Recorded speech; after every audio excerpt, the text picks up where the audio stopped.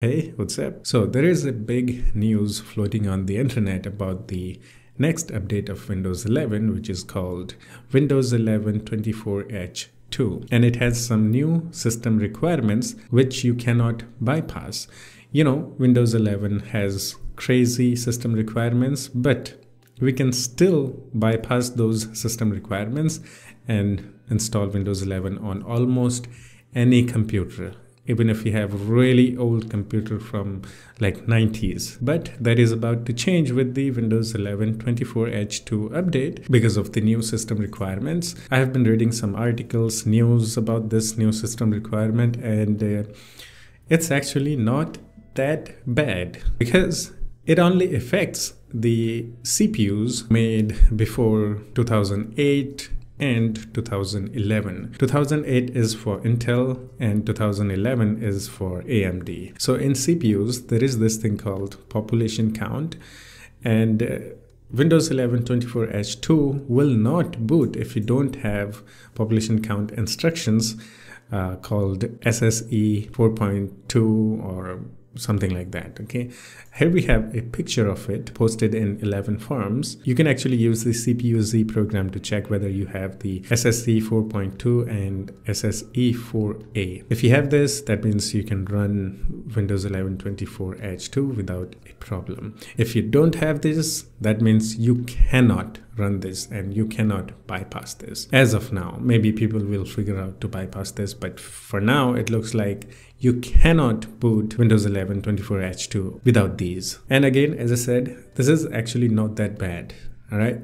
If you have an Intel CPU, which was made in 2008 or after that, you're good to go because all the Intel CPUs made after 2008 supports these new system requirements. But for the AMD, it's 2011. So if you have AMD CPU, which was made after 2011 you're good to go but if it was made before the 2011 it's not good. The windows 11 24h2 won't work. Uh, if you have a really really really old pc this is not a good news for you but if you have a relatively like old pc from 2010 or something you're good i mean you can still bypass everything like cpu requirement and RAM requirement and TPM and secure boot and everything. You can bypass all those things and you can still run the Windows 11 24H2. Uh, you just need to make sure that you have these on your CPU. Let's actually download the CPU-Z and we're going to check whether our system supports the Windows 11 24H2 or not. All right. So let's run this install this first actually installed successfully now i'm gonna run this as an administrator so my cpu is intel core i7 9th gen all right and it looks like every cpu has a little bit of different instructions so it's the amd ryzen 7 so you can see in amd it has that SSE 4.2 and SSE 4A. Since I have the Intel, it has the 4.1, 4.2, but there is no like 4.A. But it has something called EMT64T. As long as you have the SSE 4.2 or even like SSE 4.1, you're good to go, I think.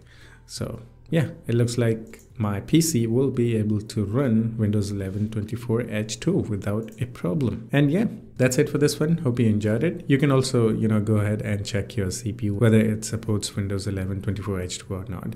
I mean, again, as I said, if your CPU was made before like 2010, you're out of luck. If it was made after the 2010 11 you're in luck. But if you still have any questions or have any suggestions for me, you can always do the comment and we can have some chit chat in the comment section too. Yeah, that's it. I'll see you in the next one. Take care of yourself and have fun. Bye bye.